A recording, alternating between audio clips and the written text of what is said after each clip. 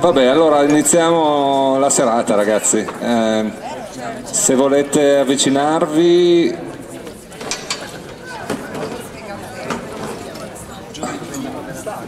No, niente, io volevo solo ringraziare tutti quanti quelli che sono intervenuti eh, perché insomma per questa serata per noi era eh, importante farla come segno della nostra partecipazione alla vita della, della città e della periferia, insomma.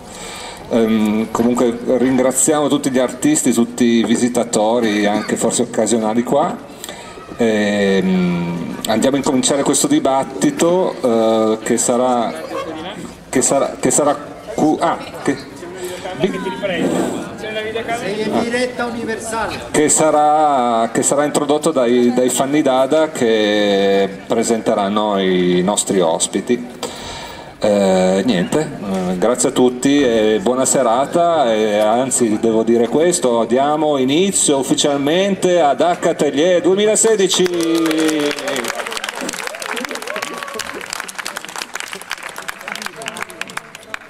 Ciao a tutti, eh, questi tavoli possono essere anche utilizzati, i tappeti per le sedute, eh. chi vuole possono essere... chi vuole, i giovanotti possono sedere. Allora, ci fa molto piacere che questa piazza, oltre mm, alla giornata di, di lavoro che sempre tutti i giorni avviene qua dentro, eh, si trasformi per poche ore in un incontro con l'arte. Eh, vogliamo fondamentalmente iniziare eh, a ringraziare solo 5 secondi eh, la pazienza e la condivisione che hanno voluto dimostrarci i eh, lavoratori del mercato. Enzo, eh, che ringraziamo in prima persona. Che Enzo e anche Stefano che si sono prestati a Enzo praticamente che ci sta dando anche la luce e quindi lo ringraziamo con grande affetto. E mm, invece questa serata mm, sarà, eh, vertirà fondamentalmente in una chiacchierata molto amichevole eh, dal titolo eh, L'arte alla periferia. L'abbiamo voluta intitolare così eh, per ehm, dare un significato eh, di cosa vuol dire per noi l'arte. Abbiamo, mh, alcune, abbiamo invitato delle persone che lavorano con l'arte in periferia e, partendo dal titolo che abbiamo dato appunto al talk Arte alla periferia, volevamo chiedere, fare alcune domande, domande che poi eh, gireranno tra gli oratori. E come si può portare l'arte al centro, cioè al centro della nostra attenzione? E, mm, per preparare questo talk io e Davide ci siamo anche un po' interrogati, siamo, eh, è stato interessante per noi eh, confrontarci. E mh, mm, ci siamo appunto domandati come si può risvegliare nella gente la consapevolezza del bisogno di arte, cioè abbiamo bisogno di arte, mh, mm, quindi c'è bisogna instillare in qualche modo un bisogno. Come può avvenire ciò? E questa è un po' una domanda che vorremmo che si che fosse come un po' un filo rosso, che non è l'opera viva, che è anche l'opera viva di Bulgini. E potremmo anche iniziare partendo eh, dal primo oratore che è il nostro carissimo amico Maurizio Cilli, artista, architetto e amicone. Eh, che appunto per organizzare questo, questo talk ci ha dato appunto una, un punto di inizio che, mm, e poi questo, adesso faremo partire questo video di Alfredo Jarre e noi ve lo facciamo vedere e poi eh, lasciamo la parola, eh, prima parleranno da sole, molto da sole le immagini e poi lasceremo un attimino la parola a Maurizio. Una bella cosa anche questa. Beh, no. Noi lo vediamo un po' di già. Po' di movimento, esatto. Ah, allora, mercoledì alle 11 il angolo di Gennesso. Ok. Sai se viene la sindaca.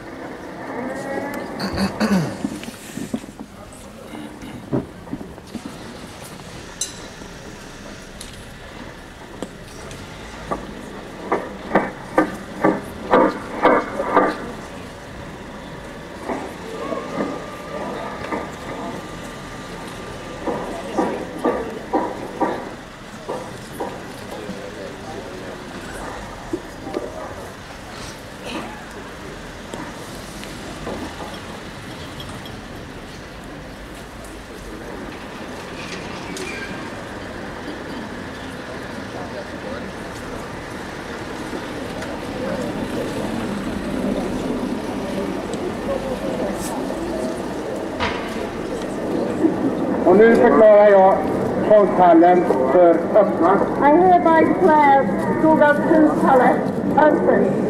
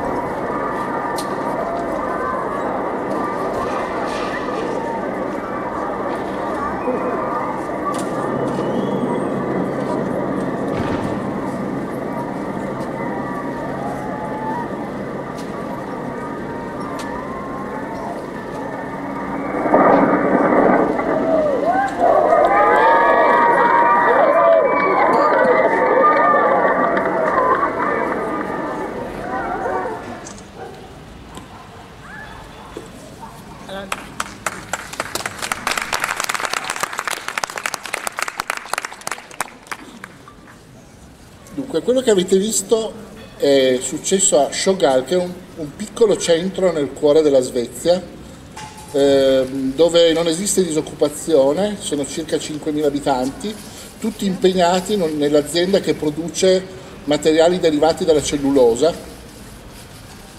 Questa piccola cittadina che vive ehm, attraverso il lavoro che dà questa azienda da sempre, ehm, non ha un centro storico cioè si, costruita, si sono costruite delle case intorno all'azienda che gradualmente è cresciuta. Alfredo Giallo, artista, è stato contattato dalla comunità circa 6, o 7 anni prima di quello che avete visto. La comunità chiedeva ad Alfredo Giallo, che, che- che da sempre si occupa ehm, di lavorare nello spazio pubblico a contatto con delle comunità delicate, controverse come può essere questa. Pensate una città che non, ha, non vive mai dei momenti d'ozio, cioè tutta la vita dei cittadini, dei, dei- dei- cittadini è, è legata ai tempi del, del lavoro. La richiesta della comunità d'Alfredo Giara è stata aiutaci a capire come possiamo eh, fare in modo che questa comunità costruisca una Kunsthal, una casa per l'arte, un museo, qualcosa che- nella quale noi possiamo riconoscere ehm, il nostro amore per l'arte. Lui inizialmente rifiuta, poi ci pensa, viene contattato nuovamente e decide di eh, farsi dare gli scarti di lavorazione del- della fabbrica, come avete visto delle cantinelle con le quali costruiscono le casse per trasportare i rotoli di carta e, e poi appunto dei fogli di carta che sono quelli che avete visto con, con i quali ha rivestito questa casa, questa casa archetipa no? che è stata costruita da un gruppo di suoi assistenti che per eh, una decina di giorni ha vissuto a Shogal. Ecco, considerate che è talmente sconosciuta questa cittadina in termini proprio di eh, significato storico che anche su Wikipedia, anche su, anche su siti particolarmente, particolarmente di geografia particolarmente eh, specializzati nei viaggi nei paesi scandinavi c'è pochissimo su Shogal, c'è quasi nulla. Ikea gli ha dedicato un tappetino da bagno, questo per dirvi l'immaginario che ruota intorno. Che cosa fa Jar? Dice, datemi questo materiale e noi costruiamo una forma archetipa nell'unico spazio libero dove in qualche modo ehm, quello che avete visto, no? che può essere un parcheggio, una piazza, non lo so, non ci sono dati. Eh, non è dato sapere cosa fosse quel posto, come veniva usato, ma è un parcheggio, o forse fanno il mercato, chi sa. Eh, questa casa viene costruita in alcuni giorni all'interno di questo spazio vengono incollate sulla carta tutte le fotografie dei, dei cittadini di Shogal che guardano il cantiere. Cioè in pratica dentro, dentro questa casa, questa ipotetica Kunsthal, ci sono le persone che abitano a Chagall e che guardano il cantiere. Il sindaco in pompa magna, con articoli sul giornale, eh, annuncia l'apertura del museo, avete visto ha tagliato il nastro, eh, la gente entra, si rende conto che quello che va a vedere non sono delle opere d'arte, ma vede praticamente le facce dei suoi concittadini.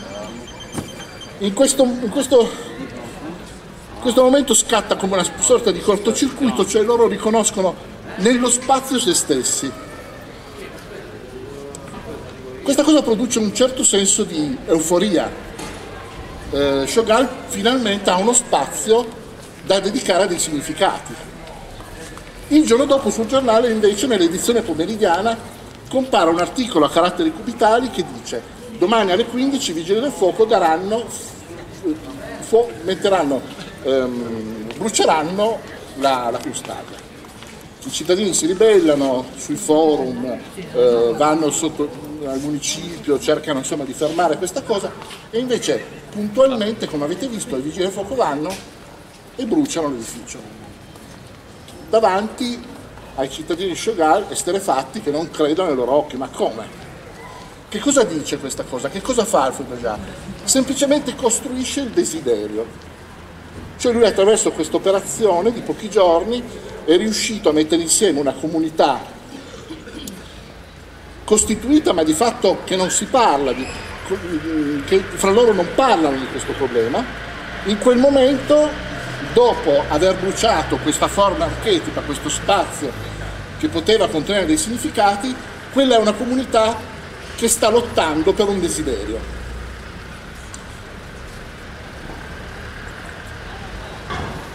Scelgo spesso di partire da questa quando racconto mh, gli argomenti simili a quelli che sono stati lanciati eh, stasera. Di solito si tende a eh, a, a, banalizz- a, banalizzare molto il fatto che ci siano dei momenti della città poco interessanti. No? Intorno esiste tutta una, esiste tutta una retorica della sicurezza, del fatto che le città sono insicure, che ci sono quartieri, la stessa logica che porta quasi tutti i candidati alle scorse amministrative ad usare la parola periferia come un colluttorio, no? Cioè tutti usavano, si facevano i gargarismi con la parola periferia continuamente. Ecco, questa cosa, anche questo modo un po' assertivo, no? tutti sanno che cosa fare in periferia, allora portiamo il nostro catalogo di progetti, con una forza muscolare vi dimostreremo che Renzi addirittura dopo i fatti del, del Bataclan dice un euro e un campo di basket ogni euro speso per, per le armi. Cioè arrivano a fare delle dichiarazioni roboanti intorno improvvisamente a questa questione della sicurezza. Ecco, da Chagall passiamo a Piazza Foroni. Che cos'è Piazza Foroni? Piazza Foroni è uno spazio che mette completamente in crisi quello che ho appena detto, cioè il fatto che in alcuni momenti delle città esistano delle situazioni che non producono significato. Questo non è vero, perché questo spazio dimostra come da circa cent'anni eh, qui vive una comunità forte che si è costituita gradualmente attorno a un mercato e, e, e però dobbiamo riflettere su perché questo è accaduto in questo spazio. Perché Piazza Foroni è così? Perché in Piazza Foroni possiamo riconoscere una comunità? Perché è possibile fare una cosa come questa in Piazza Foroni? Questo è uno spazio, eh, come vedete, a forma di clessidra. Perché nasce uno spazio a forma di clessidra in una città dove gli isolati sono tutti reticolari e che seguono un'espansione sempre razionale secondo blocchi quadrati? Perché il primo tracciato della cinta che chiudeva la città storica passava grosso modo a ridosso di Corso Novara, Corso di Gevano. Fino lì i piani di espansione dell'Ottocento arrivavano a una città che in qualche modo riprendeva i moduli razionali quadrati dei lotti del centro storico. Quando incontrava la cinta si fermava e fuori dalla cinta esisteva quello che era la città prima dell'espansione. Una città prevalentemente legata ai meccanismi della- dell'agricoltura e quindi con tracciati e direttrici che conducevano fuori dalla piana, fuori dalla città, che in nessun modo erano continui rispetto al tracciato reticolare della città storica.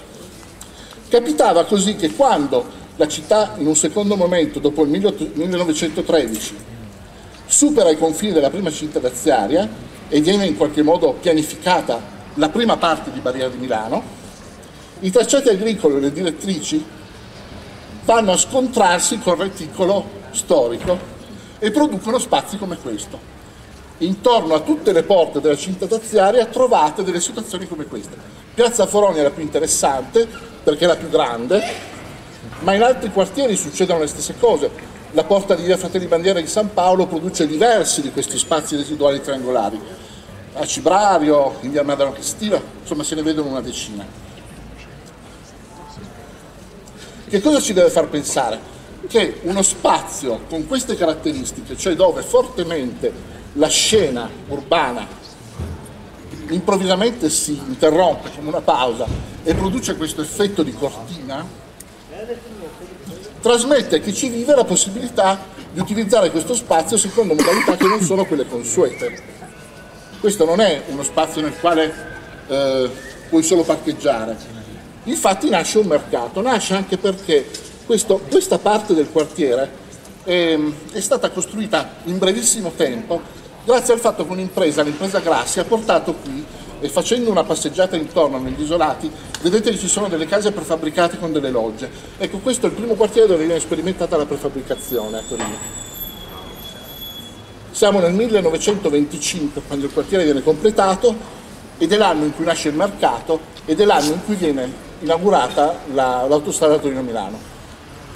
Da allora Piazza Foroni eh, ha una comunità che si riconosce, molti di loro sono pugliesi, si riconoscono come i devoti della Madonna di Ripalta, dice il suo altarino. Ecco, capitano delle cose molto rare. Quindi abbiamo visto due situazioni, una comunità che non ha uno spazio pubblico, non vive ozio, e un'altra comunità, questa di Barriera di Milano, che invece ha la fortuna di avere uno spazio come Piazza Foroni, può avere un mercato e, e può avere uno spazio pubblico interessante. Non tutti i quartieri ce l'hanno. Che cosa può fare l'arte? La domanda di Fanni era, a questo punto, come possiamo fare a portare, beh, intanto essere meno assertivi, cioè essere meno convinti che ci siano delle ricette. Smetterla di chiamare tutto quello che non si capisce, che non riusciamo a definire come periferia. Le periferie sono una cosa molto diversa da quella che genericamente intendiamo e parliamo. Le periferie sono città satellite molto lontane dai cuori delle grandi metropoli che nascevano in piena autonomia della città. Le parti più generiche, quelle su cui c'è da lavorare, non sono periferie, sono semplicemente borghi nati nella fretta di una costruzione eh, indisciplinata con un'architettura generica che non teneva in nessun conto la qualità degli spazi pubblici. Vedete, le città funzionano, a mio modo di vedere, con dei meccanismi sempre uguali, da sempre. Ci sono città che funzionano in alcune loro parti perché ci sono strade e spazi pubblici che hanno il fascino e sono espressivi come Piazza Foroni. Bisogna ricercarli questi spazi, cioè bisogna fare in modo che nei progetti eh, questi spazi siano al centro della, della- della progettazione. Purtroppo nelle grandi città, Milano, Torino, ma non solo, anche alcuni quartieri di Roma molto grandi, questo non è capitato. Oggi si corre ai ripari, perché ci si rende conto che in mancanza di spazi espressivi non si costituiscono comunità. Guardate che noi continuiamo a fare questi errori. Lungo la spina centrale, lungo questo asse viario che è stato appena costruito, abbiamo continuato a ripetere questi errori. Vi do un, un parametro. Abbiamo rigenerato, demolendo le industrie, cioè cancellando la memoria del- dell'architettura del lavoro del Novecento, per far spazio a quartieri, secondo me, abbastanza generici, di condomini che hanno tipologie residenziali che appartengono probabilmente al passato, alle case delle nostre nonne, due camere cucina, eh, col tinello, cioè sono eh, edifici che in qualche modo non, non corrono al tempo delle richieste e del modo di abitare che hanno oggi le famiglie. Eh, lungo circa 4-5 km di questo nuovo asse viario, guardate che per una città costruire una strada così importante non capita spesso, forse capita una volta in un secolo. Ecco, Torino ha prodotto nuova città lungo la spina e provate a chiedervi, è nato un toponimo, cioè è nato un nuovo spazio che noi possiamo chiamare. Io posso dare a qualcuno di voi un appuntamento per un caffè in un luogo preciso della spina centrale? No. Questo significa che con i, con i progetti, con l'urbanistica, con, con il catalogo, con le forme dell'arredo urbano, non si produce una città espressiva, o meglio, si può a patto che si consideri l'ipotesi di costruire degli spazi che possano accogliere dei significati per le comunità che ci vivono. Questo è un meccanismo importantissimo.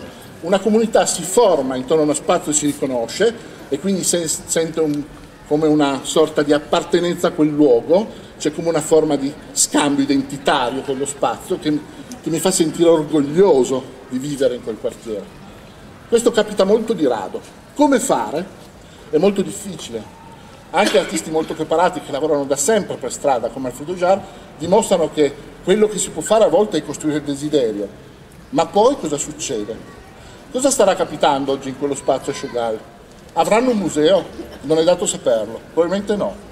Nonostante sia stato costruito un desiderio, bisogna continuare a lavorare, Vedete, c'è una variabile, poi chiudo, fondamentale per questo genere di lavoro, il tempo.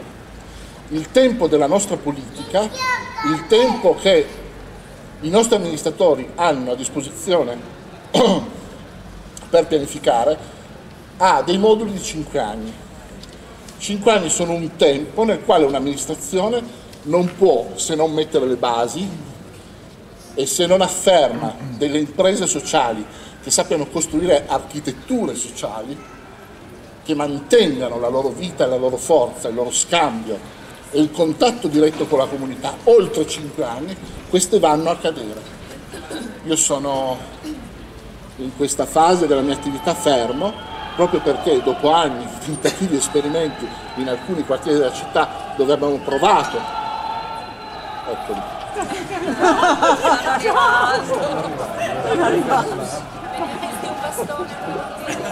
Giusto per chiudere, dove abbiamo provato a portare... Mi sono reso conto che proprio per l'incapacità, il fatto di non avere una sponda forte nell'amministrazione, nell'incapacità di costruire impresa intorno alle architetture sociali, cioè il fatto di intanto di mettere in gioco non solo quelli che sono i tecnicismi della trasformazione urbana, ma mettere in gioco delle discipline diverse, questo è un altro problema fondamentale, cioè la città può guadagnare e diventare attraente nei confronti delle comunità se in gioco ci sono professionalità che sanno leggere questi bisogni. Non bastano gli urbanisti, non bastano gli architetti, l'arte è fondamentale perché l'arte può portare quelle che vengono, possiamo definire, momenti nei quali si sposta lo sguardo, si smette di guardare gli spazi come li si guarda tutti i giorni, cioè sono quei momenti nei quali qualcuno che abita una piazza, una via o che abita vicino a un giardino vede quel posto finalmente con occhi nuovi. Ecco, questo è fondamentale che l'arte lo faccia. Nessuno porta l'arte a fare questo città. Non ci sono, non ci sono mh, programmi perché l'arte pubblica abbia spazio, non ci sono leggi la legge del 2%, cioè la legge che dice che ogni opera pubblica debba riconoscere un 2% dei lavori, dell'importo opere alla costruzione di un'opera d'arte, è una legge ancora legata ad una solidarietà dell'arte nei confronti dell'architettura. È una legge scritta per il fascismo, per un'architettura che chiedeva all'arte basso rilievi e commento all'architettura. L'arte pubblica è qualcosa di diverso, Dobbiamo chiedere che venga riscritta la legge del 2%. Oggi un'opera d'arte non è qualcosa di sussidiario all'architettura, è la costruzione sociale di un desiderio, è il tentativo di far permanere vivo il bisogno di stare insieme in una comunità, è un'architettura sociale. Questo credo debbano fare gli artisti, questo credo che si debba rivendicare e, e questa è una strada possibile.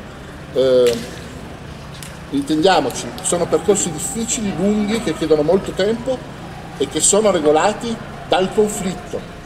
Non bisogna temere il conflitto, l'arte deve portare conflitto, bisogna giocare il conflitto dell'arte. Non si produce significato senza il conflitto dell'arte.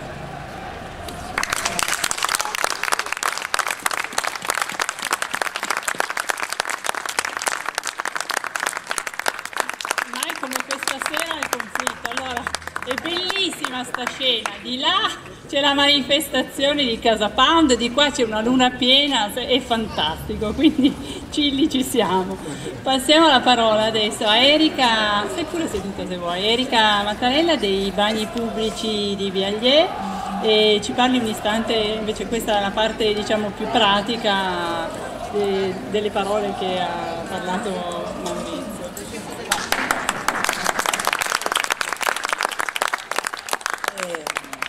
Parlare dopo Cigli è sempre comunque difficile, partiamo da questo presupposto. E perché dice un sacco di cose interessanti, dei concetti per spiegati bene, quindi uno dice sarò in grado di spiegarli allo stesso livello, non lo so. E, però intanto partendo anche dagli stimoli che ci ha dato lui, sicuramente il ragionamento che dove siamo non è una periferia, mi sembra un ragionamento da cui partire.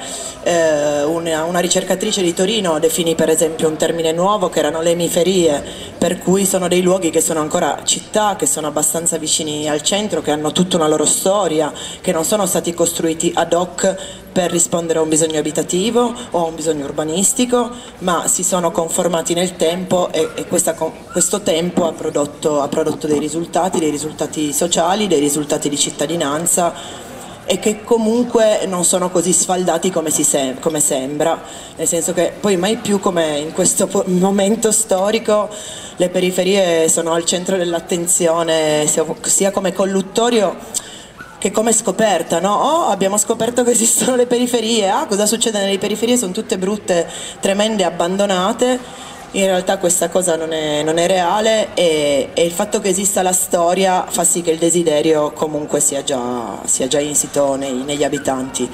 La nostra esperienza è nata, è nata dall'ascolto dei bisogni, nel senso che i bagni pubblici hanno aperto principalmente come bagni pubblici, funzionano ancora a tutti gli effetti come, come docce e, e avevamo avuto un affidamento da parte della città per la gestione delle, delle docce, sono uno stabile pubblico e quando abbiamo aperto la struttura per attenzione nostra abbiamo deciso di iniziare a coinvolgere anche i cittadini del quartiere, quindi la comunità per un po' affrontare invece lo stigma che si può avere rispetto a un bagno pubblico, per cui qua c'è la manifestazione, quindi questo è un quartiere che ha già un sacco di problemi, ci mancavano i bagni pubblici dove vanno gli ultimi della società perché chi utilizza un bagno pubblico è sicuramente un diseredato e, e, ci sembrava interessante invece raccontare alle persone che il bagno pubblico è comunque una struttura che soddisfa un bisogno primario, che nel caso fa prevenzione sanitaria e che è giusto che esista.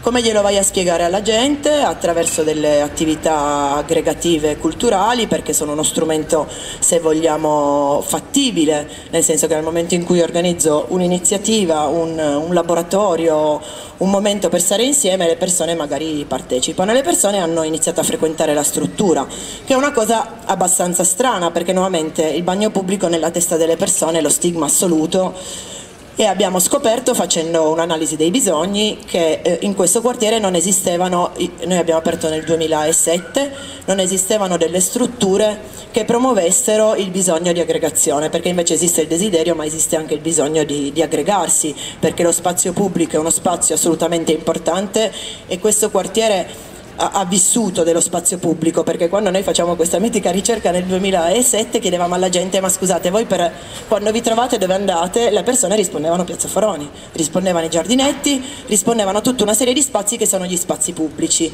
ma viviamo anche in una città dove l'inverno non è così mite e quindi spesso lo spazio pubblico in inverno è molto meno frequentato perché fa freddo.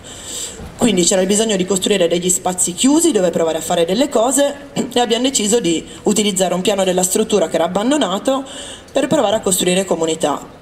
Partendo davvero dai bisogni, perché avevamo vinto un bando con un contributo annuale, però era un contributo annuale, quindi abbiamo detto che ne facciamo? Facciamo qualcosa che rimanga. Quindi sono stati i cittadini stessi a chiederci e a mettersi in gioco rispetto alle attività da fare, da fare dentro. Finché da parte di un gruppo di cittadini l'idea, essendo vecchie docce, di fare delle mostre d'arte. E arriviamo alla, anche alla questione artistica perché poi H-Atelier è, è anche tanto questo. Delle mostre d'arte, in quartiere non c'era ancora il fico, non esistevano spazi dedicati a, a, ospitare iniziative artistiche, c'è sempre stata la biblioteca che comunque ha uno spazio molto bello, eh, moderno, dove si facevano delle mostre, però rimane comunque una biblioteca, quindi nella visione delle persone quella è la biblioteca, non è un, un luogo espositivo dove si può produrre arte. Decidiamo di, di provarci, non avendo le competenze, perché nessuno di noi è un curatore o un operatore artistico e culturale, quindi facciamo un po' una chiamata alle armi e scriviamo una serie di soggetti torinesi che invece sono titolati per fare, per fare arte. Questi soggetti torinesi ci hanno dato picche perché eravamo il 2008, nel 2008 pensare di fare delle mostre d'arte all'interno di un bagno pubblico in Barriera di Milano era una forzatura perché sette anni sembrano, otto anni ormai sembrano pochi ma sono, sono tanti e questa città è cambiata tanto in otto anni e otto anni fa sembrava davvero una pazzia fare una, una, mostra d'arte dentro un bagno pubblico, che era ancora bagno pubblico, che era Barriera di Milano.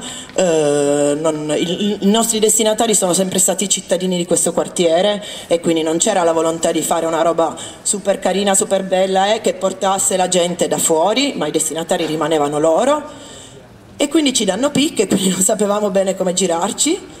C'era questa necessità, avevano detto sì, lo facciamo, anche pieni di entusiasmo, finché abbiamo incontrato un amico che è anche qui, quindi io sono contenta che sia qui, che non viene in Barriera di Milano da un sacco di tempo, che è Tonichina, che invece lui ai tempi esponeva solo per strada perché era stata una sua scelta eh, provocatoria, quello di, di, utilizzare la strada e lo spazio pubblico come spazio personale di, di esposizione, che ci dice ah sì, ci credo io, non ho mai, non ho mai esposto al chiuso e adesso esporrò al chiuso. Quindi ci tiriamo sulle maniche, realizziamo la galleria, montiamo le luci, cerchiamo di immaginarci che cosa voleva dire fare un'esposizione e iniziamo a fare queste, queste mostre che si chiamano Un tuffo in barriera che hanno portato nel tempo una bella legittimazione, una bella legittimazione da parte del quartiere che è la prima cosa perché comunque le persone potevano venirsi a vedere una mostra, era anche inusuale e è una legittimazione, nel nostro caso questo è un quartiere che ha anche tanta intercultura perché è un quartiere dove l'immigrazione è forte, se ne deve parlare e avevamo deciso di utilizzare lo strumento dell'arte per raccontare che gli immigrati non sono solo spacciatori operai ma a volte ci sono anche degli artisti. Quindi prendiamo questo canale di dire proviamo a mappare quali sono gli artisti immigrati a Torino e esponiamo loro. Esponiamo loro perché è un posto inusuale, la maggior parte di queste persone nel, nel loro percorso immigratorio smettono di fare gli artisti perché entri in un ciclo vizioso per cui devi rinnovare il permesso, devi lavorare, c'hai la famiglia e, e, a volte smetti anche no, quello che è la tua produzione artistica e, e avranno voglia di esporre il bagno a un certo punto e questa cosa è andata bene, è andata bene perché davvero rispetto all'impatto con la cittadinanza ha permesso di raccontare un altro tipo di migrazione che era intanto un obiettivo per noi importante. E provare a raccontarlo attraverso l'arte è stato un esperimento eh, che ha funzionato. Perché di nuovo l'arte invece è uno, strumento, è uno strumento buono, è uno strumento spesso comprensibile, non è vero che è così incomprensibile e spesso è bello, nel senso che ti stimola, ma poi adesso Bulgari racconterà il suo e quindi quanto può stimolare la cittadinanza a riflettere, a riflettere su quello che è il proprio territorio, la propria comunità di riferimento. Io chiudo, grazie.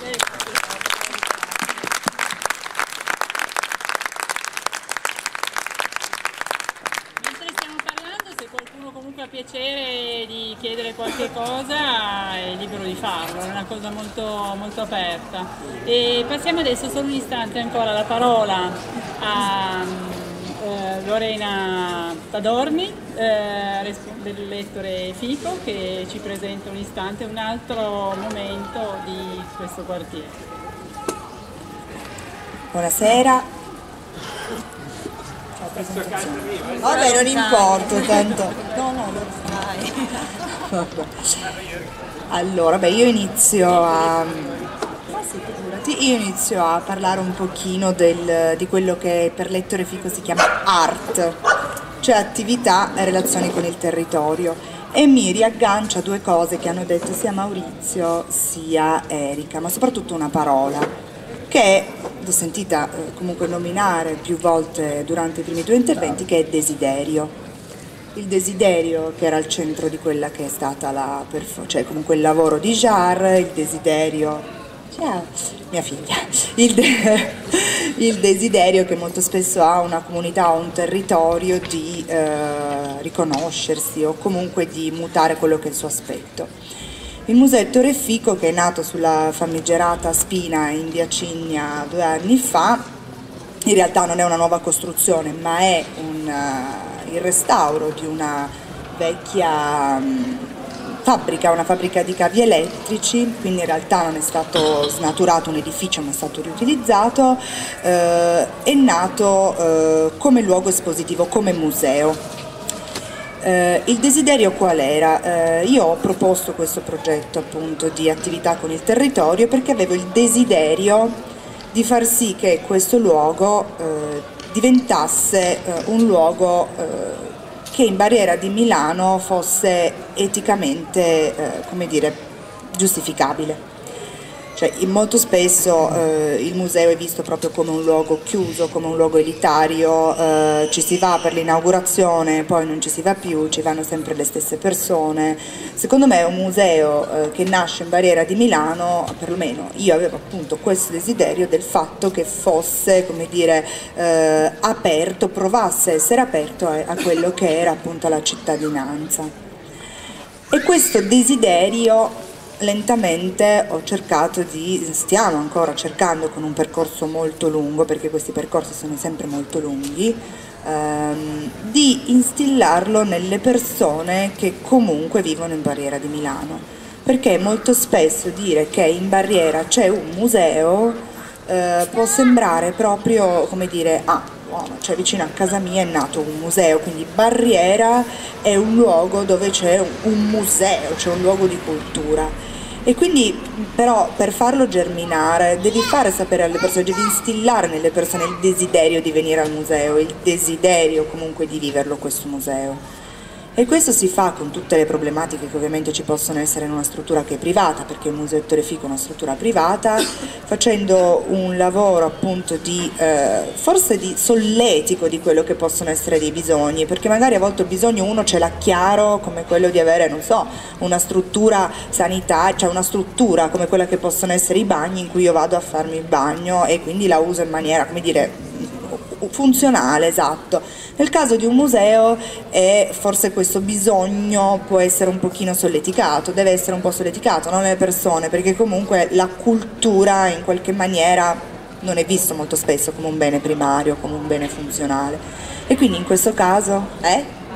Malamente, però in realtà è quello, cioè in questo caso il, il concetto di desiderio abbiamo cercato lentamente di, di farlo, come dire, venire fuori, prima con un lavoro con le associazioni, che in realtà avevo fatto già anche prima di essere al Museo Ettore Fico, alla Manifattura Tabacchi, poi con una serie di interventi che in qualche maniera sono anche usciti dallo spazio del museo, cioè, ripeto, sempre con la difficoltà del fatto che comunque noi siamo una eh, struttura... mh, privata e quindi com- come tali dobbiamo far fronte con dei, a, a dei conti. Però questo desiderio io ultimamente l'ho anche raccolto e lo dico adesso, cioè io vedo qui eh, Enzo che comunque è un po' l'anima della piazza e questo raccogliere il desiderio che è arrivato durante una conversazione con Enzo per me è stato un po' come dire un un po' fa capire che quello che stavo facendo in realtà qualche frutto lo dava, perché Enzo un giorno parlando mi ha detto ma perché non portate una mostra di Ettore Fico, non portate un pezzo di museo in piazza Foroni? Cioè, per me questo, il fatto che arrivi da una persona che la piazza la vive tutti i giorni, che è comunque un commerciante e che chiede di eh, avere un pezzo di museo vuol dire che già dopo non tanto tempo, cioè questo lavoro forse un pochino sta funzionando, no? qualche segno un pochino lo dà. In realtà è quello che abbiamo fatto, questo è Ettore Fico, in realtà è proprio quello che abbiamo fatto perché mercoledì prossimo, io approfitto anche per invitarvi tutti per fare un minimo di pubblicità, mercoledì prossimo qui alle 11 inauguriamo due mesi di una programmazione su Ettore Fico che è stata voluta e ideata insieme ai commercianti. Quindi ancora una volta un, proge- un, progetto che è partecipativo, che molto spesso molti artisti fanno progetti partecipativi, che però poi alla fine che presa hanno poi davvero a livello di partecipazione o a livello proprio di, eh, di radicamento sul territorio? Cioè in questo caso non è stato solo prendere e portare l'opera di Fico all'interno del mercato, è stato condividerla e farla nascere proprio come i commercianti. Primo loro hanno proprio scelto Fico, perché Fico comunque era un pittore, perché Fico comunque ha un linguaggio che ha attraversato tanti stili, tante, tante suggestioni, però intanto è sempre stato pittorico e quindi è riconoscibile e quindi non è difficilissimo, è, è molto spesso ostico come in alcuni casi capita con alcuni linguaggi dell'arte contemporanea. E quindi questo fico che arriva al museo, cioè queste cinque, queste cinque mostre nei due mesi, sono state davvero scelte da chi il territorio lo abita, però attraverso proprio un processo di avvicinamento a quello che è stato il museo, quindi i commercianti sono venuti al museo, hanno fatto un laboratorio pratico, quindi hanno dipinto, hanno, hanno collaborato proprio con noi a cercare qualcosa che abitasse il loro spazio quotidiano. Ecco, per me questo è stato un po' raccogliere un desiderio e in qualche maniera ha colmato anche un pochino, cioè mi ha fatto capire che quel desiderio che avevo io in qualche maniera forse poteva anche essere condiviso. Questo era il, tutto ciò che volevo dire questa sera, poi se verranno fuori altre cose, insomma, direi. però era un'idea sul desiderio. Grazie mille. Volevamo farvi anche conoscere un'altra identità e un'altra um, forma di eh, museo. E, um, ci sono venuti i nostri amici fondatori del MUFAN, che è il uh, Museo del Fantastico e della Fantascienza. E vi presentate un istante, vi dite, ci dite dove siete. Sì, grazie Fanny. Beh, intanto sì, siamo una, un museo, insomma, a proposito di periferia, siamo in realtà alla periferia della periferia, nel senso che siamo in, in via Reis Romoli, nello slargo che poi è lo spiazzo insomma, di via Scialoia. E appunto siamo il Munfant che sta per il Museo del Fantastico e della Fantascienza e, e, a proposito appunto dire, di eh, desiderio, eh, oltre alla dimensione urbanistica, la, la, una motivazione insomma, senz'altro che, che, che, ci anima insomma, è proprio quella di eh, un, anche quella, se vogliamo, di un desiderio di eh, riscatto, perché la cultura insomma, del fantastico e della fantascienza è una cultura periferica, insomma, è una cultura percepita insomma, come eh, eh, non cultura, insomma qualcosa di, di, di pop, di, ehm, per fare un, un esempio fra gli infiniti veramente che potremmo fare eh, lo scorso anno abbiamo fatto dire, un, un, percorso insomma, eh, per far conoscere il, il, il, lavoro e la ricerca di Primo Levi e molto, molto, insomma, molte poche persone sapevano che il, non eh, dire, un momento estemporaneo della ricerca di Primo Levi, ma se vogliamo quantificare il 50% insomma, del, del, delle opere di Primo Levi sono di eh, fantascienza, insomma. E, e,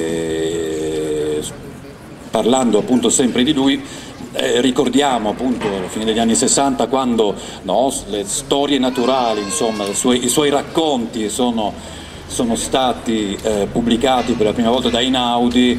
Eh, l'indicazione appunto della casa editrice era quella intanto di far eh, dire, presentare Primo Levi con uno pseudonimo, insomma lo troviamo appunto eh, le storie naturali nella prima edizione come eh, con l'autore eh, Daniele Malabaglia e eh, con un teaser appunto attorno alla fascetta che indica fantascienza, punto interrogativo, un po' come a prendere le distanze insomma eh, da questo oggetto che non era considerato abbastanza mainstream, abbastanza insomma, eh, come dire, culturalmente elevato. Insomma, questo per dire che la nostra motivazione, insomma, di, eh, la nostra anima di immaginario periferico ci ha portato insomma, eh, anche a collocarci in un luogo che appunto è quello di, eh, di via Reis Romoli e un po' al di fuori. Insomma, naturalmente la vocazione della fantascienza se vogliamo anche andare a cercare origini insomma, antiche nel, nel mondo del,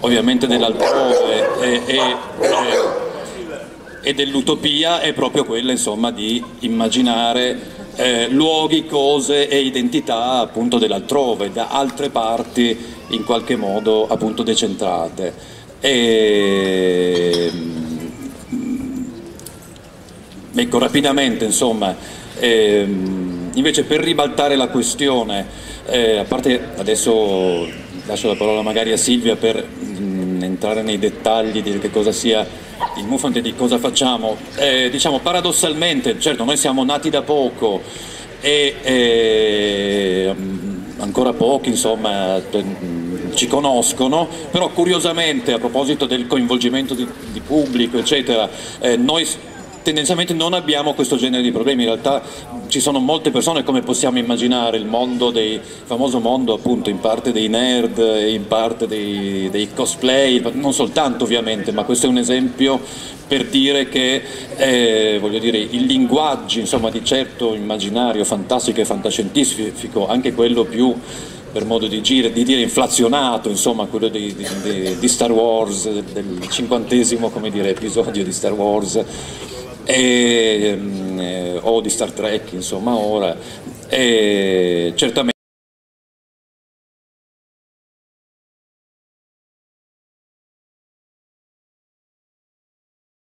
ha un gran pubblico, eh, il nostro lavoro mettendo insieme eh, e mostrando che il fantastico moderno, insomma quello che è nato 200 anni fa, quando sono nate le macchine, quando il mondo cambiava, quando si immaginava appunto da una parte il futuro, dall'altro appunto un altrove con tutte le angosce o il, dire, il meraviglioso e il tremendo che faceva da contorno, eh, appunto non è soltanto questo, cioè e, e il, il, nostro lavoro è quello di condividere con il nostro pubblico, ehm, cioè di rompere insomma in qualche modo una qualche un qualche automatismo, una qualche cristallizzazione, eh, appunto come dicevo prima, un po' nerd, no? per cui ci si affeziona eh,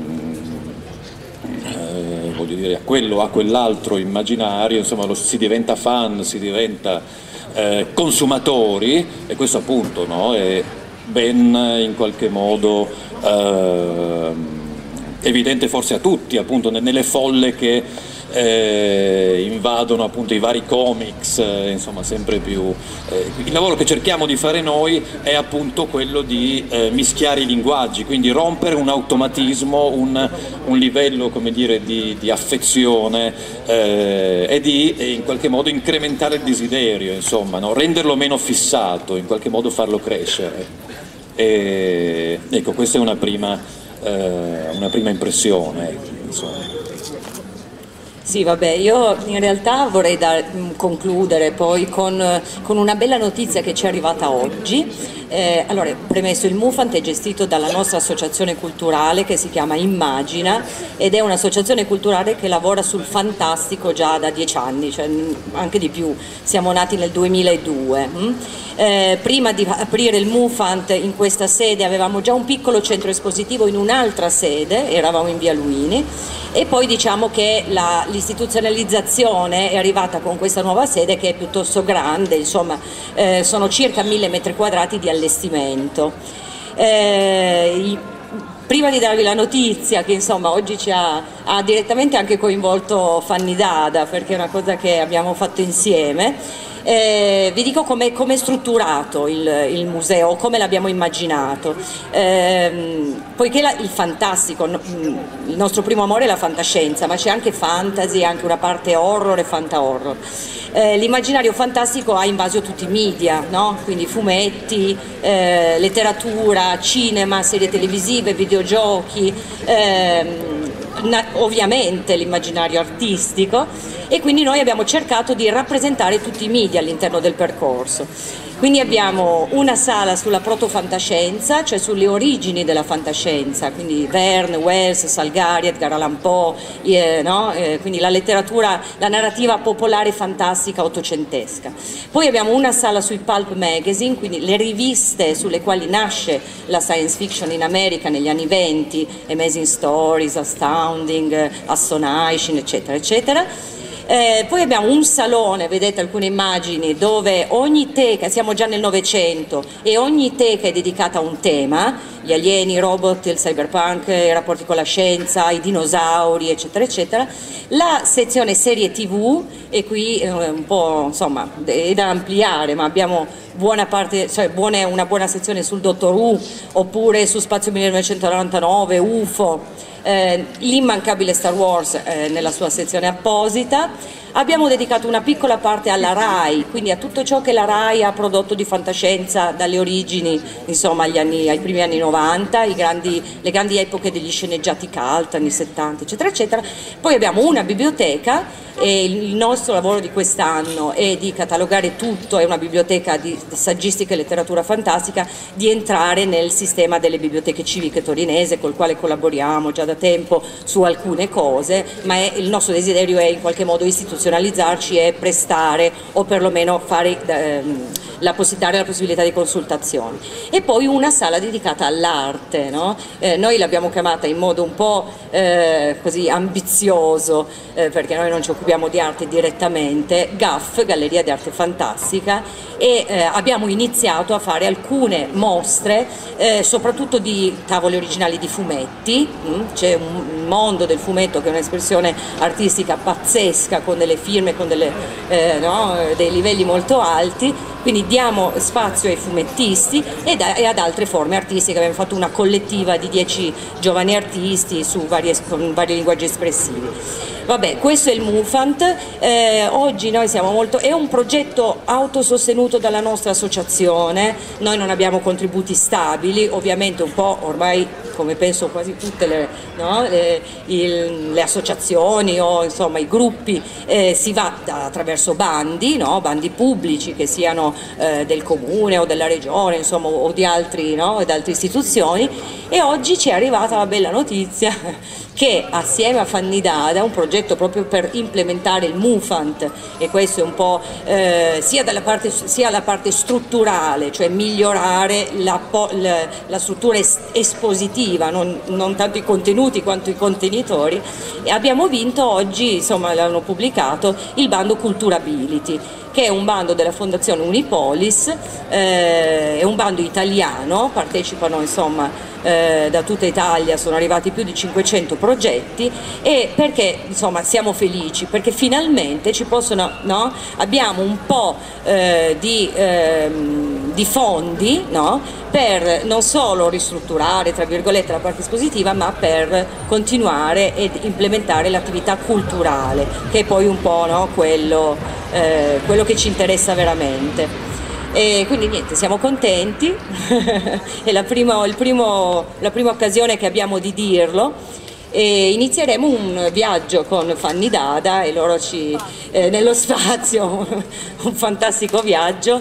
E in, nel, in questo progetto c'è ovviamente l'implementazione estetica, le attività culturali e anche la istituzionalizzazione di questa biblioteca che è piuttosto ricca, c'è arrivata una grossa donazione dalla famiglia di Riccardo Valla che è stato un po' l'ispiratore eh, no, del, del Mufant, Riccardo è stato il curatore delle edizioni Nord, la, la collana di editrice Nord, una delle collane di fantascienza insomma, più, più, importanti in Italia, almeno insomma, fino a un po' di anni fa. E per concludere, noi non abbiamo mai sentito addosso la periferia, nel senso che eh, quando no, ci hanno fatto vedere gli spazi che naturalmente non, non erano, eh, ringraziamo, una, noi siamo alla 5 come circoscrizione, non alla 6, però siamo vicinissimi eh, quando ci hanno fatto vedere gli spazi molti, no? la prima cosa non eh, noi dell'associazione ma i primi no? amici o comunque eh, le persone che gravitano attorno, ma ve la sentite no? di rimanere così periferici? Mm? Eh, noi siamo proprio in via Reis Romoli, eh, ma noi non, insomma, eh, l'abbiamo veramente, ma in modo onesto, presa come una risorsa e non come una, un, insomma, un, una cosa negativa, diciamo. Sono mille metri quadrati, gli spazi sono grossi per noi e, e, anche lo spazio è una ex scuola anni 60, ancora con, peraltro molto, no? eh, con molte eh, qualità più che no? non difetti, ad esempio dei bellissimi lucernai che useremo E, insomma, va bene, vi invitiamo e, e, il nostro è un esempio di periferia a livello idea, cioè culturale, cioè, no? ci occupiamo di fantascienza, di una cultura che è considerata periferica, l'idea molto italiana eh, del, di, di, valutare questo genere e periferia in senso fisico. Mm? Lo dicevo, però il pavimento ci piacerebbe cambiarlo. Eh no, il pavimento lo cambieremo.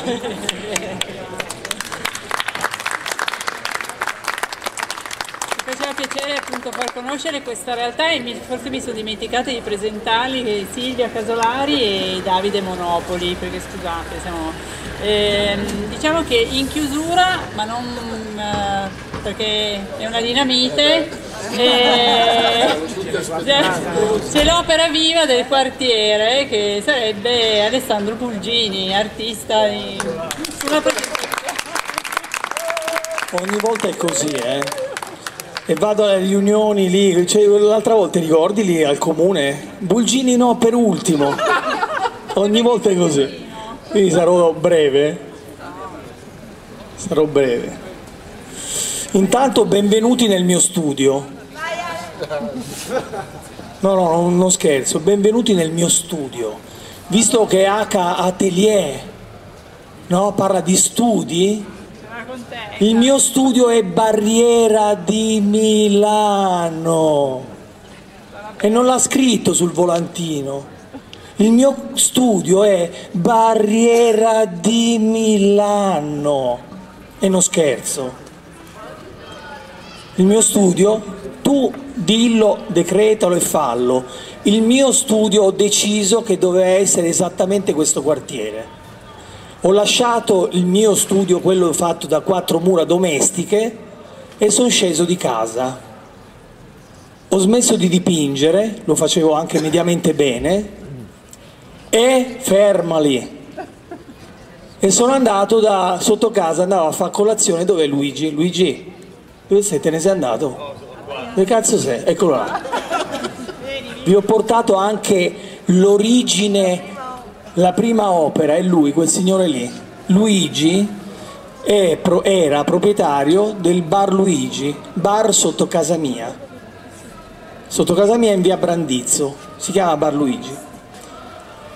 Che cosa ho fatto? L'idea era questa, lasciare lo studio, lasciare il cavalletto, lasciare i pennelli e incominciare a tifare per il mio quartiere, tifare per le persone. Volevo verificare quanto l'arte potesse veramente interferire, aiutare, fare, baciare. E sono andato a verificarlo con la prima cosa che incontravo, cioè il bar sotto casa mia, dove andavo a far colazione. Ho detto ci vado a mani nude in modo da, da far miracoli ancora più insomma, suggestivi, no? sono bravi tutti a fare sculture, no, col proprio bagaglio culturale. No, no, dico vado sotto casa, vado dal mio amico e gli dico Luigi possiamo iniziare un percorso e lui ha detto subito sì. Eh, voglio iniziare da questo racconto, eh, sarò breve, ho, ho, messo, no no, cerco di essere breve, ho messo su 10-12 immagini per farvi capire come, come funziono. Ma Luigi l'ho fatto diventare un acrostico e questo acrostico, anche se divertente, racconta un po' come ho visto questo, questo nuovo progetto. Eh, Barluigi è diventato base aerospaziale ricercatore di luoghi di utopie indipendenti e geometrie ignote. Utopie le ho usate così come quando uso periferia, proprio per favorire gli altri, per, per, non farli preoccupare. Quando tu dici utopia, dici ah meno male sta scherzando, così come quando dici periferia, no? In realtà per me questa non è periferia, ho scelto Barriera di Milano come centro della mia vita artistica, per me questo è il centro. Fatto sta che lo vedrete successivamente, eh, dopo, insomma, successivamente, vedrete che ho fatto anche dei passaporti per entrare in Barriera di Milano. Allora, questo è l'inizio del progetto. Il progetto è molto semplice. Ho detto che qualsiasi luogo, pubblico, privato, poteva diventare un luogo di eh, accoglienza artistica gratuita, gratuita, e senza filtri. Quindi già parlavo di accoglienza. Quindi ho, ho promosso un franchising che si è diffuso con la rete con questo logo. Chiunque poteva aprire un bar Luigi, poteva ospitare la creatività gratuitamente e diffonderla tramite la rete, tramite Facebook. In un anno ho aperto 19 bar Luigi nel mondo, parrucchieri, macellai, tutti che esponevano, case private, c'è uno, un bar Luigi si chiama Bar Luigi Due Pareti perché erano due pareti di un, di un, di un ginecologo eh, che aveva aperto casa sua per poter ospitare la creatività. Cioè l'idea era quella di far diventare Barriera di Milano un luogo dal quale partivano degli input nel mondo, no? un network. Così nasce tutto il mio progetto, parto da Barriera, in Barriera io trovavo il centro del mondo, io ho incominciato a vedere Barriera come un universo, in Barriera è rappresentato tutto quello che mi interessava, non, non dovevo spostarmi più di tanto perché in questo quartiere, forse voi non sapete, ha 55.000 abitanti, d'accordo? C'era tutto quel che io potessi desiderare grazie al mio percorso su Barriera poi in realtà sono stato ospitato nel mondo, mi hanno mandato ovunque, in Marocco, in America, a Calais, insomma ovunque, ma grazie all'esperienza che io ho fatto in questo quartiere. Tutto era ben rappresentato qui. Possiamo andare avanti un attimo? Allora, vabbè, questo era il secondo logo, arte e resistenza. Incomincio a parlare di esistenza. Non so se sono stato il primo, il secondo, il terzo, chi se ne fregava. Cioè la resistenza era raccontare dell'esistenza, cioè dell'esistente cioè io mi appello al preesistente. Tutte le operazioni che io vado a fare come artista si avvalgono di ciò che preesiste. Sono un, un artista che si avvale della, cioè che tifa per la decrescita, un artista, un artista povero che utilizza appunto quello che trova. Nasce quindi la mia esperienza con Bar Luigi, sto chiuso dentro il bar un anno e mezzo all'incirca, dove incomincio a promuovere delle cose questo è il bar Luigi il primo, i primi giorni, era così, Luigi? La gente andava a mangiare lì, si metteva tutta di spalle e guardava le partite. Ok, questo è il primo. Andiamo avanti.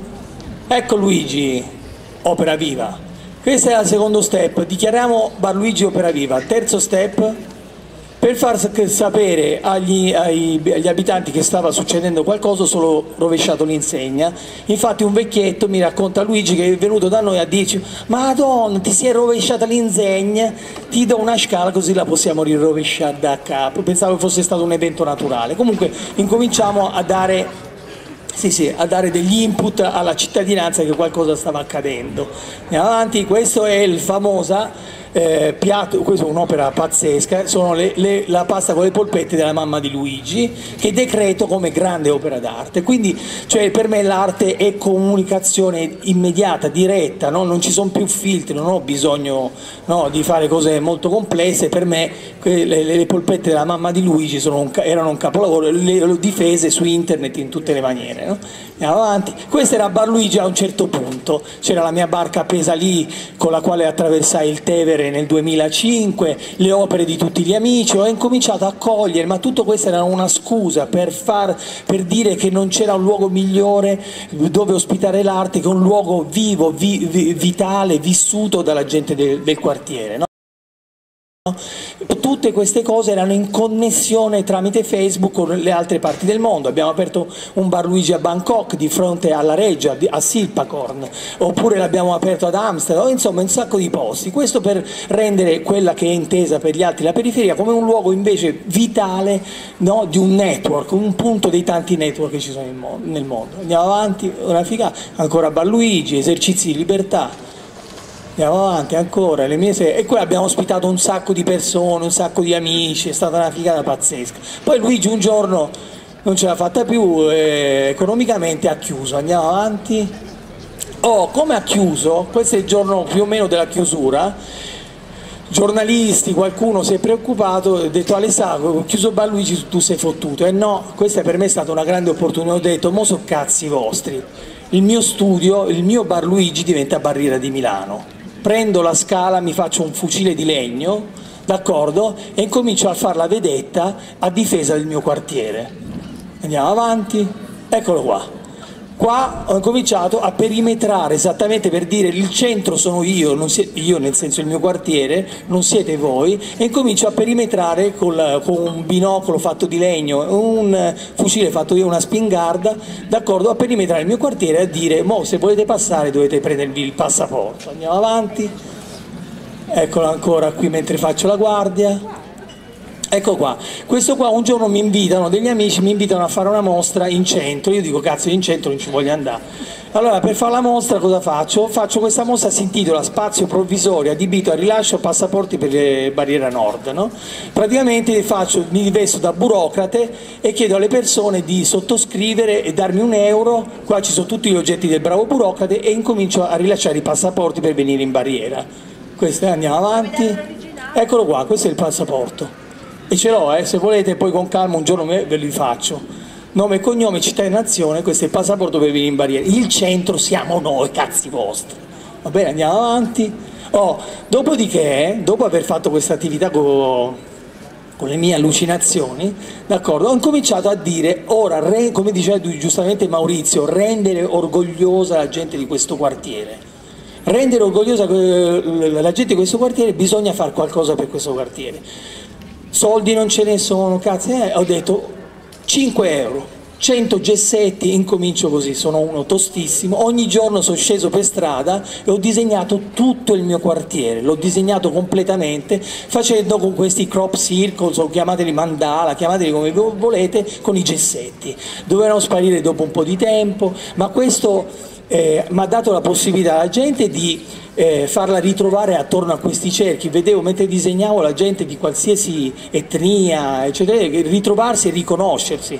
Non a caso facevo questi disegni, li facevo in modo che assomigliassero un po' a disegni eh, medio orientali, un po' a disegni del sud Italia, in modo che la gente si ritrovasse eh, felice intorno a, questa, a, queste, a queste, cose. No?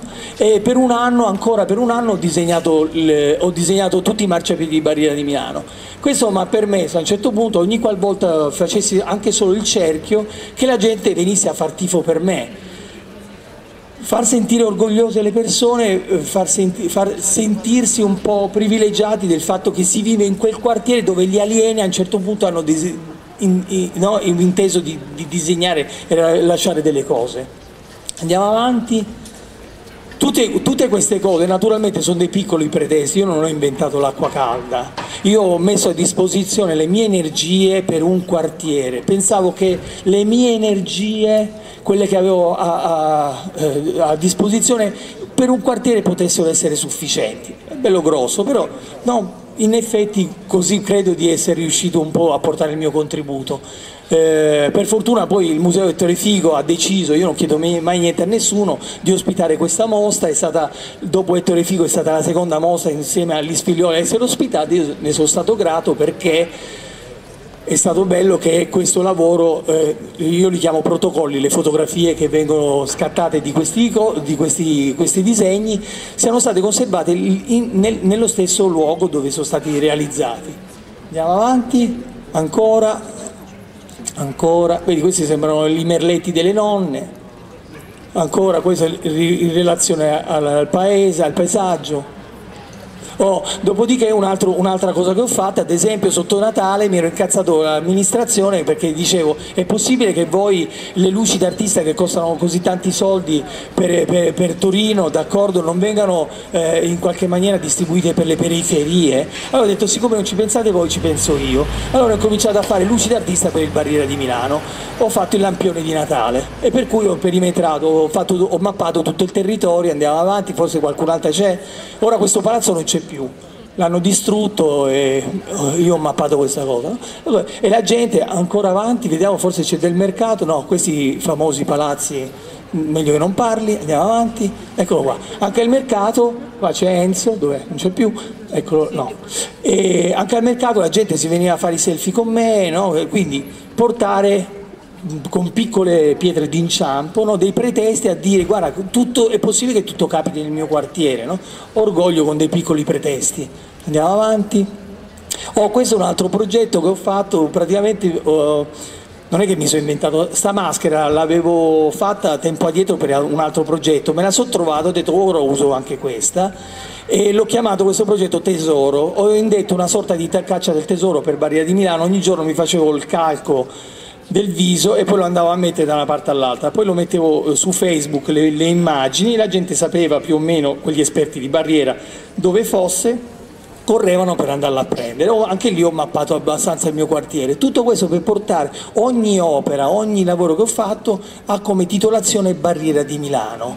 Cioè lavorare anche sulla titolazione per continuare a portare un contributo sul mio quartiere. L'idea è continuare a verificare quanto l'arte in qualche maniera possa guarda questo è forse lo spunto più importante, rendere più felici e orgogliosi una comunità, capito? sotto l'egita di piccoli pretesti. Andiamo avanti, questa è una delle maschere, ogni giorno ne regalo una, se lo metto avanti, così. Oh, questo qua è il progetto che è iniziato l'anno scorso e tu, tuttora continua, praticamente ho preso un, um, un tabellone qui che c'è in piazza Bottesini in affitto, quest'anno per sei mesi insieme alla fiera Flashback. E mm, praticamente la, vabbè, l'anno scorso si concludeva così, antica e tua sorella, era inteso, è una provocazione naturalmente, è come quando si parla di Barriera, no? Mica Barriera è un quartiere vecchio, brutto, no? Io, brutto e vecchio e antico lo vai a dire a tua sorella, no? E comunque era, o viceversa sta a intendere che tua sorella è vicino a te in pratica. No? Quest'anno il progetto continua, abbiamo preso sei mesi in affitto questo cartellone, sto ospitando sei artisti internazionali, uno per ogni mese. Tutte queste cose qua comunque continuano a lavorare sempre con la stessa idea cioè quella di portare beneficio, tra virgolette, al mio quartiere. Andiamo avanti. Questo è invece il lavoro che ho fatto, ve lo indico, anche se non è in barriera di Milano, perché in piazza Derna l'ho fatto, sono queste porte salti con l'asta, perché ve l'ho fatto vedere? Perché questo è per farvi vedere come procedo io. Questi pali qui, che ho fatto diventare salti con l'asta, in realtà sono dei pali per la tensione della rete tranviaria, ho fatto col Museo Ettore Fico, con la collaborazione, li ho fatti diventare salti con l'asta, è diventata una porta mistica all'ingresso di, no, di Barriera Nord, tutte queste robe qua.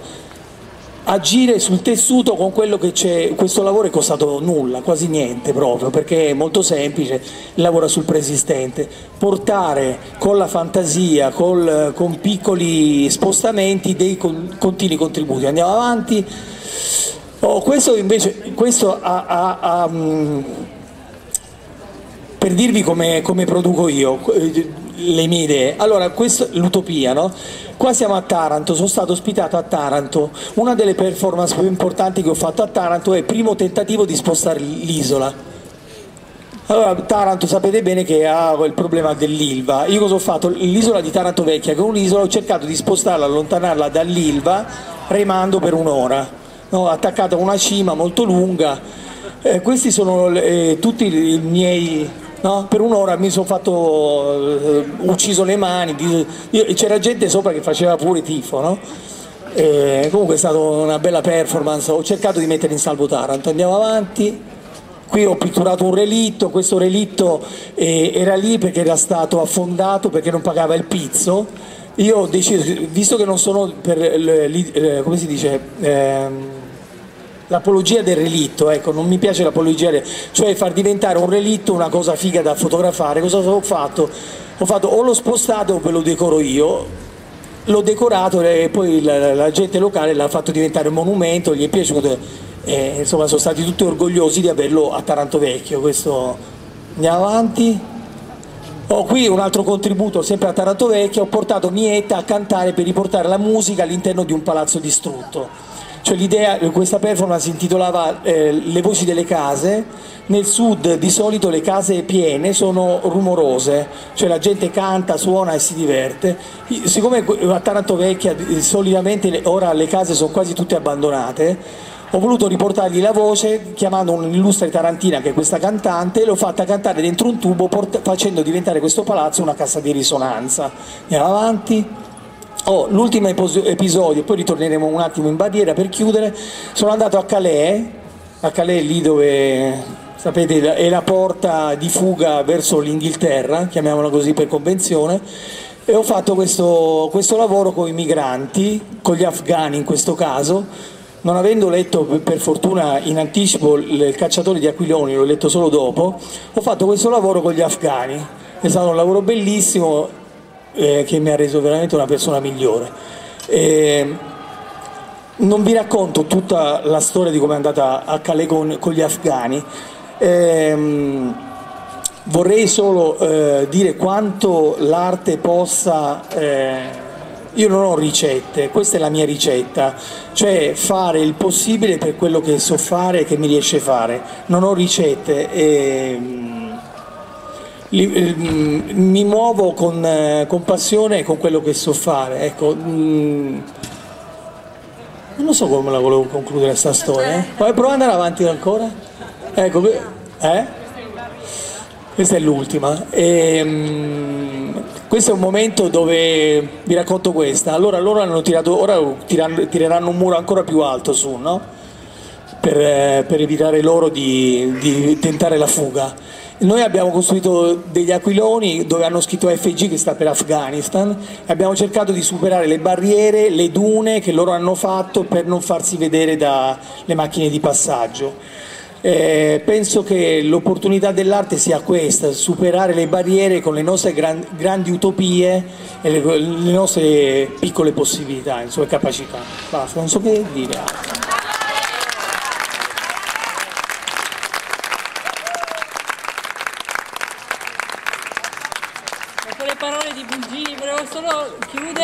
e passare ancora un istante una parola a eh, Maurizio, però io volevo dire solo, eh, ho trovato una citazione di Alfredo Jarre che dice che appunto l'arte può cambiare il mondo una persona alla volta, per cui mi sembra che sia...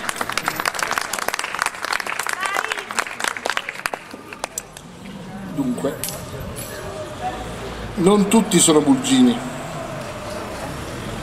Bulgini è unico e c'è Bulgini e, e il Bulgini può fare queste cose.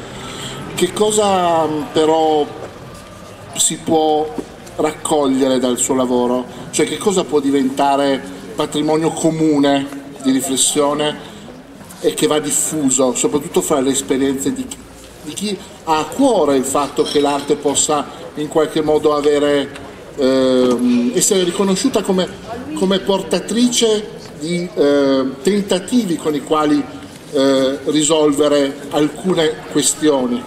Cioè lì dove la città è povera e generica, esperienze come quelle di Alessandro insegnano una cosa, che portano il significato del dono.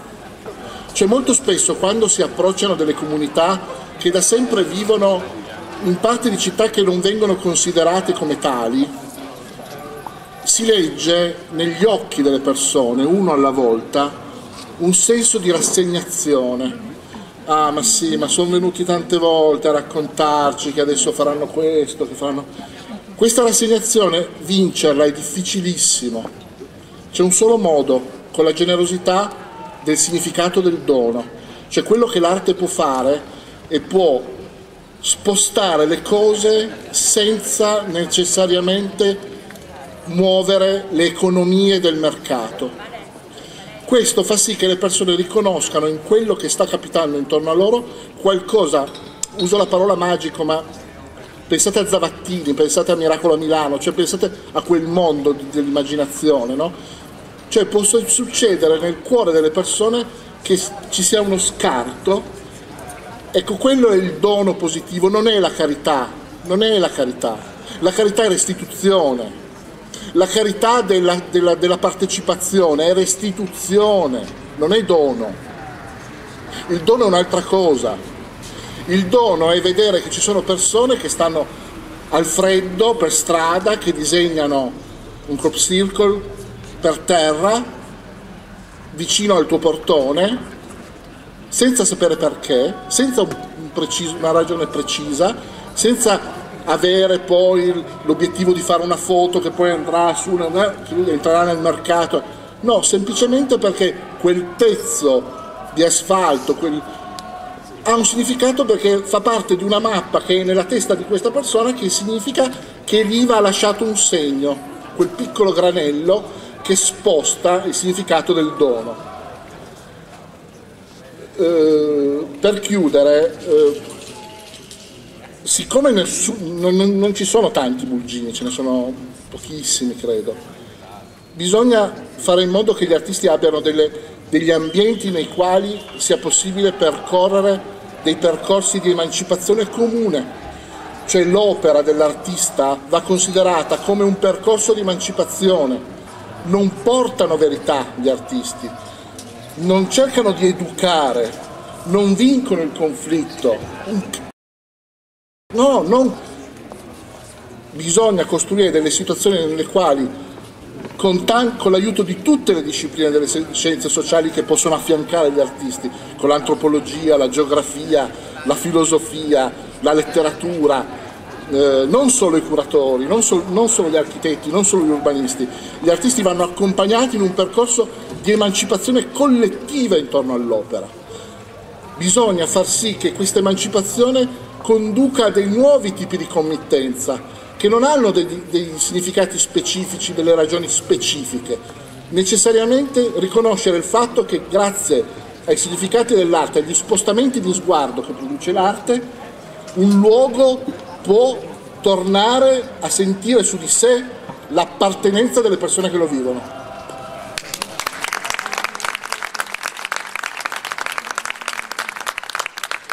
No, posso raccontare solo una cosa. Però, vi- scusate, vi rompo. Vi racconto una, una sola cosa, non so se però spero di non commuovermi, perché ogni volta che ci penso mi commuovo. Una- un solo piccolo racconto sui disegni. Ci tengo a dirvelo. E ne ho fatti tantissimi, più di cento. E ero in, piazza Crispi, stavo disegnando. Arriva un signore magro, ben vestito, anziano, con due buste. Te l'ho raccontata? Viene da me e fa, dice, cosa stai facendo? Disegno. Fa, che bello. Ma, ma lo sai che ci sono quelli che fanno gli alieni? Sì, sì, lo so, lo so. Mi ricorda un po' questi quei disegni degli alieni, però penso anche, penso anche a, a Mosè quando incontra Dio, il- la voce viene da là, e comincia a fare tutto un racconto suo strano, il, il rovo ardente, una voce viene dall'alto, forse non sono alieni, io faccio vabbè sì, no, vabbè. Io cerco di accondiscendere. A un certo punto mi fa, dice, puoi chiudere gli occhi? Chiudo gli occhi. Mentre chiudo gli occhi vedo che lui mette una mano in tasca e tira fuori 5 euro. E gli dico, guarda, no, no, no, fermati, io non voglio soldi, non, non sto facendo questo per soldi. No? No, stavo chiudendo, questo ho visto che ha tirato fuori 5 euro. No, no, no, no, è stato una- un attimo e tutto si è risolto. Io ho detto, guarda, non voglio, non voglio soldi, non faccio per soldi, lo faccio per il piacere di fare questa cosa. E allora lui fa, dice, ma tu bevi? E lo faccio qualche volta. Ti posso offrire questa bottiglia di vino? E c'era nel sacchetto giallo una bottiglia di vino. Faccio no, non volevo togliergli nulla. Gli ho detto no, grazie, guarda, non mi sento nemmeno tanto bene oggi. Lasci per... No, veramente, grazie, apprezzo il suo gesto cortese, grazie, grazie mille. Non voglio nulla. Al- Altre due chiacchiere, io riprendo a disegnare e lui riprende a guardare dentro i cassonetti della spazzatura.